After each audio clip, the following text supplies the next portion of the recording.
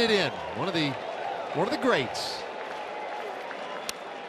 Gomez hits this ball well out into left field. Gone! Into the seats, a solo shot for Carlos Gomez. Number 15 for Carlos, and it makes it an 8 to 4 game.